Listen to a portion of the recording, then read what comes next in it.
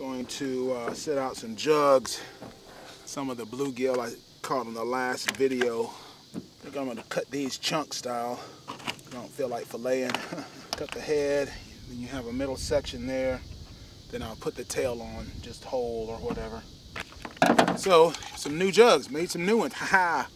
I went back, took the old, coated the wood with boat builder's epoxy and then finished it out with a varnish.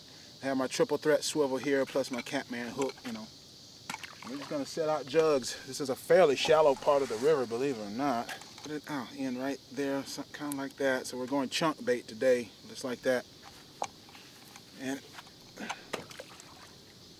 way I hook the heads is, is come in through, uh, a lot of times I come in through one eyeball and then come out through the skull like that. That's how I do that.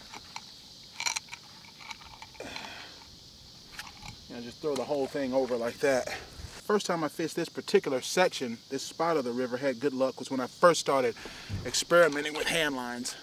One of the big limitations with jugs is how many jugs can you carry. Although I have enough material to make about 40 something jugs. How are you gonna carry them all, right? So it's like, make sure you get those scales off, man. I meant to stop and get some chicken gizzards, but I just forgot and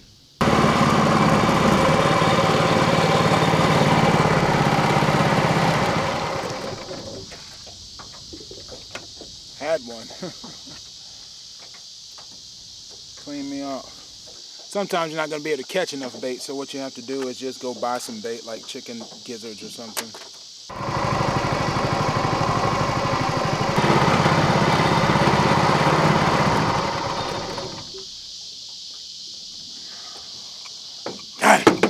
This one. Oh, come on, dude, seriously? Stop all this death roll stuff.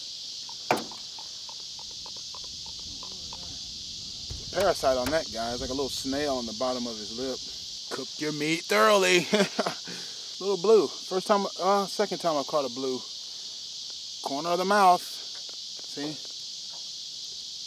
I can't get them loose, so you get the pliers and any other sort of thin wire hook, you deform the hook and. Mm, mm.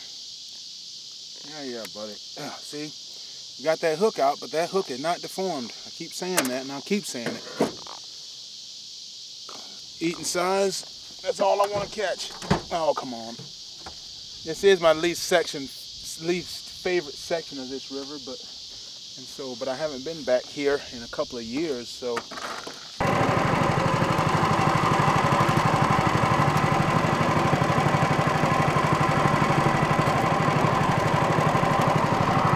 He hit it. He hit it right in front of my face, but didn't take it thought I was going home, fellas. Dude, stop. It looks more like a channel, actually. If you sting me, you're going to get hurt. It looks more like, that's a channel. That's definitely a channel. Salted bluegill. Once again, corner of the mouth. Just to show you how, gosh. You just have to manhandle those hooks out of these cats, man. But again, the hook just doesn't care. The hook doesn't care. Nice little sandwich sized channel.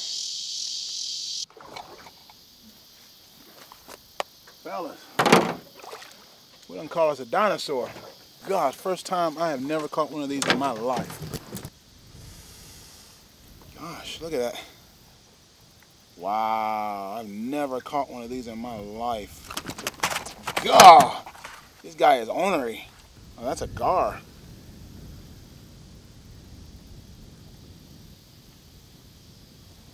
I'm not sure what the regs are, but what we're gonna do is if you're never sure what the regs are, we're just gonna uh, cut him and let him go.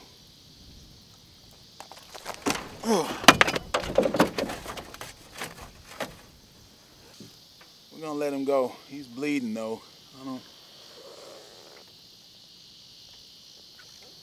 My goodness, alligator gar.